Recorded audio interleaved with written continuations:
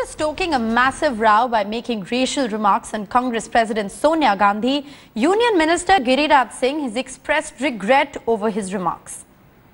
In a clarification, Giriraj Singh has said that whatever he said was off the record and he didn't intend to hurt anyone. The senior BJP Bihar leader had earlier said that Sonia was made Congress president because of the color of her skin. Speaking to the media persons in Hajipur, Giriraj Singh had said that Rajiv Gandhi, had he married a Nigerian woman, she wouldn't have become the Congress chief. Joining me on this broadcast will be my colleagues Rohit Singh from Patna, Ankit Tyagi from New Delhi and Indrajit Kundu from Kolkata. They'll be getting us uh, voices from the ground as to how people are exactly reacting to what our various ministers have said. Okay, let's go across to Indrajit Kundu who's joining me live from Kolkata. Indrajit, uh, what Giriraj Singh has said is racist, it's sexist and it's taken politics to a whole new low. What are people on the ground really thinking about uh, this minister's latest jibe? Well, that's right. Let's get in a view from, uh, you know, women from uh, Calcutta. What do you make of this statement uh, coming from none other than a union minister? Do you really believe that it's a, uh, sexist and misogynist statement and it only speaks about their mindset? You know what I really feel about Giriraj Singh is that I think he derives a lot of pleasure out of sad realities because some days ago he just said that uh, Rahul Gandhi's absence is like uh, the disappearance of the MH370 flight. And now he's comparing the Nigerian women with uh, Sonia Gandhi who's white skin. So I think this person should just be shunned. And uh, I think he's I think what he's showing us is that uh, what exactly our society is thinking because still thoughts still remain in the society and it's not really nice. But what about, uh, you know, action? Uh, most often we see that there is no action which is initiated and they uh, go away with making such comments. Uh, a case in hand would be the comments made by Trinamool Congress MP Tapas Pal. So uh, what do you suggest? What should be done? So I think that uh, these political leaders and the comments that they uh, make is just like holding a mirror to our faces and showing us the kind of people we are electing as electorates. So I think we as electorates should think and contemplate whom we elect. And second, I think that these people want attention. Like one of these union ministers is a minister for micro industries. I think he wants a macro level space, a macro level kind of an attention in public space. So I think we should just shun him. So th- that's the view coming in uh, from women in Kolkata. Right. Pretty outraged, but they're also saying that it's not enough to show this outrage. There must be some concrete Well, absolutely. that, That, Indrajit, is the key outrage. question. Will there be action that will be taken against Giriraj Singh or just like always, is there just going to be a condemnation against what he said? Also joining me live is my colleague Indrad, uh, is my colleague Rohit Singh uh, from Patna. Uh, Rohit, uh, Giriraj Singh is a popular leader in Bihar. Uh, how are his comments being seen locally among people of Bihar? Uh, what is the reaction that's coming in from the ground? Well, as far as the political circuit is concerned, there has been a lot of condemnation as far as leaders are concerned, whether it is from RJD, whether it's from the Congress. But what is the actual common man? What are the people here thinking on the ground? Let's get in a reaction from a few students. These are the girl students from a reputed school here, and we'll get reactions from them. The kind of statement that Giriraj Singh has made today, uh, racist comments, do you think? Do you think it is in right perspective? No, of course it is not right. If leaders will think on this basis, then what will youngsters think? And uh, हमारे यहाँ सभी को equal माना जाता है और तब पर भी पॉलिटिकल लीडर्स इस तरह की कमेंट्स करेंगे तो हम लोग जनरल पीपल से और क्या एक्सपेक्ट कर सकते हैं क्या आपको गुस्सा आता है कि कोई रंग कलर्स के बेसिस पर अगर आपको डिस्क्रिमिनेट करता है कोई खासकर वो यूनियन मिनिस्टर हो तो obviously it's wrong all, all peoples are equal all have equal rights and and every and no one should be discriminated Are you angry with such kind of comments? yes of course we are angry Yeah, what do you do? You want some that some sort of action must be initiated against the minister? Should he apologize? माफी मांगनी चाहिए क्या उन्हें?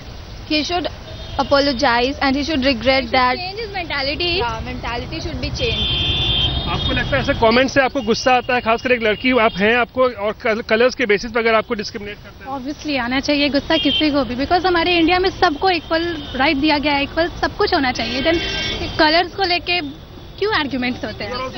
Yes of course हम लोग सबको ही angry होंगे जिसे भी पता चलेगा क्योंकि कलर के बेसिस पे हमें कुछ कमेंट नहीं करना चाहिए किसी को भी।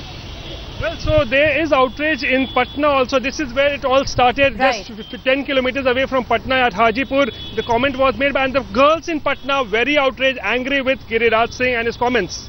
Well, absolutely. Girls in Patna, like Rohit's been pointing out, 10 kilometers from where Rohit is standing is where Giriraj Singh made those highly, uh, you know, remorseless remarks. He has come out and apologized, but he's also said that the remarks he made were in fact uh, off the record. On the record, off the record is not the point here. The fact is that a union minister has come out and made uh, such remarks. And obviously, just like all across the country, even the girls studying in Patna, very outraged. They've also raised a very important point of how this in fact sets the wrong precedent. Uh, uh, you know, Giriraj Singh has of course stoked uh, a major controversy with the Goa chief minister. What he said, you know, to those agitating nurses is also shameful. What they were asking for was the, for the chief minister to step in and uh, in fact take action against a defaulting ambulance service. What they got in return was unsolicited advice about how they shouldn't be protesting against the sun because uh, uh, protesting in the sun because the color of their skin would turn dark. What do uh, uh, you know women in Kolkata think about what the Goa chief minister said? Well, Rishika, uh, you know, that is exactly what we were discussing just a short while back. It seems like, in a sense, uh, misogyny is ingrained in the mindset of our political leadership, and that comes out more often than not in the kind of statements that they make. What do you have to say about the Goa chief minister's very unfortunate comments? Yeah, what I have to say is that uh, this is the sad reality. Men in the Indian community are still holding such misogynistic comments. And I think uh, it's not just the chief minister but I think it's men generally. So I think it's a sad reality but we have to face it. And as women we should find uh, solutions to such problems. We should begin from home. It's not just the chief When the chief minister says, when chief minister makes a comment like, you know, they are going to ruin their marital prospects if they have a darker skin, what does it suggest? This suggests the mindset. I think this suggests that he's not very. Uh, he, he what he thinks of women of India is that the main aim is to get married and not study and you know become. I mean, marriage is just a subsidiary thing. They're, mo- they're not career oriented. It's as if marital status is one thing It's which final it's a final destination. So I think that's ridiculous. speaks volumes about our netas, isn't it? Because they are the ones who are going to uh, legislate laws uh, that are that will govern our country. And if they have such mindset, it, uh, in, in a sense, as most people are commenting, uh, irrespective of their gender, men, women, Right. they should all come out and condemn. Well, important point there being raised by those girls in Kolkata. They are saying that apart from the fact that, you know, these are racist and sexist comments, it also reflects the parochial mindset that many Indian men have. And in this case, we're talking about lawmakers. These are people in prime positions of power. Let me also get in a word from Rohit Singh, who's live with us from Patna. Uh, you know, Rohit, what... Um, the Goa chief minister has said is appalling. He's come out and he said that uh, he's given some advice to protesting nurses that they shouldn't be protesting in the sun because the color of their skin will become dark and that will ruin their marital prospects. Uh, you know, these kind of things that are being said by lawmakers is what makes it even more appalling. What do women in Patna think about this? Uh, Rohit Singh is back uh, with us from Patna. Rohit, I'd like to cut across to you before I uh, go to Indrajit once again. Uh, what the MLA from uh, Hamirpur has said in Uttar Pradesh, in a sense, reflects the mindset of many. We've had, we've had repeated, uh, you know, netas in positions of power who've come out and said that, oh, women should not wear short skirts or women should dress in a certain way. They, in a certain sense, call on rape on themselves. How are people on the ground reacting to this latest jibe? Well, Rishika, I do not have that group of girls, the class 12 girls. They have just gone for their coaching classes Okay. because they were in a hurry. But we have seen, we have spoken to them. They were saying they are completely outraged because Giriraj Singh is just a case in point. There are other leaders also, maybe like Sharad Yadav, Digvijay Singh, who make such kind of sexist comment and they just get away with this. And they are saying that some sort of action must be initiated against them because this is not the first time that any neta is speaking like this. Right. And Giriraj Singh has a pattern to it. Last Lok Sabha elections, also he made controversial statement. He very, very said that he'll send everyone to Pakistan who support Narendra Absolutely. Modi. And this is again why say in the same series he's made this sexist, sexist comment. So action must be initiated against them. This is what the people in uh, on the ground in Patna are also saying. Well, absolutely, Rohit. An important point that you're raising there because Giriraj, uh, Giriraj Singh's defense is feeble. It fails to cut ice. He's come out and he said that he made these comments off the record. The point is not whether they were made off the record or on the record. The point is that this is the mindset of people in power. This is the mindset of our netas. I'd like to go back uh, to Indrajit Kundu, who's live with us from Kolkata. Indrajit, you know, first it was Giriraj Singh Then it was the Goa chief minister. And now this latest jibe by the Samajwadi Party MLA holding women responsible for rape. Uh, what's the reaction coming in from the ground?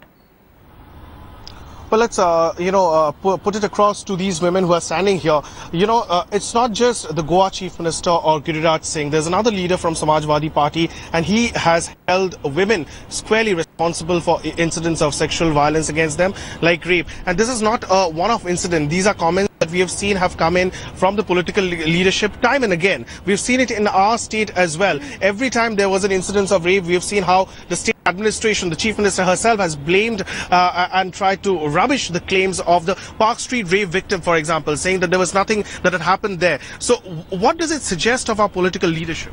Uh, what I think it suggests that first... They, do you think they are in denial as far as crime against women? Yes. Uh, I think the first thing they need to do is get their facts right. Second, proper education. They need to be educated. Third, we as electorates should choose educated people, women and men, to the legislatures so that the laws that they enact are pro-women, not anti-women, and the mindset that they depict should be pro-women and not anti-women. What about, uh, you know, basic level of education. Do you think that there should be some amount of statutory provision for some amount of education uh, when it comes to giving tickets and nominating, uh, you know, members uh, to our, uh, uh, you know, uh, legislative assemblies or the parliament is concerned? I, I, definitely am I'm pro this because I think in Rajasthan where they said that class 8 uh, to get a degree of class 8 is important to stand even for the Panchayati Raj. Yeah. There was a criticism all about it that, you know, they might just get you uh, uh, uh fake uh, degrees and stuff. Yeah. So I think education is important. Another thing which I would like to highlight is, as as we can recall, some days ago the RSS had said that uh, you know Hindu women should have more mm-hmm. children yeah. uh, uh, to compete with the Muslims. I think that's what the parent organization and that's what the BJP is trying to portray women as. So I, I really, I'm really hopeless at present. So right. quite scathing uh, criticism as far as Absolutely. the ruling, uh, you know, leadership in this country is concerned. And I guess there's pondering that the BJP leadership must do at this point, even though no action has been initiated against Giriraj uh, Singh. Well, absolutely. The big question that is on everybody's mind at this point in time is that is the BJP going to act differently from governments in the past? Netas have been repeat offenders when it comes to making misogynistic, sexist, parochial remarks, uh, going against women, endorsing uh, rape, blaming women for rape, or talking about the color of skin of other senior leaders of other parties. Clearly, it's been a shameful day whether it's uh, Giriraj Singh, the Goa chief minister, or whether it is that MLA from Uttar Pradesh. Are these the aberration or the rule? Is there going to be action taken against them or is the buck just going to stop with a mere condemnation? These are all questions, of course, that remain to be answered. Rohit Singh and Indrajit Kundu, appreciate you joining us on this broadcast.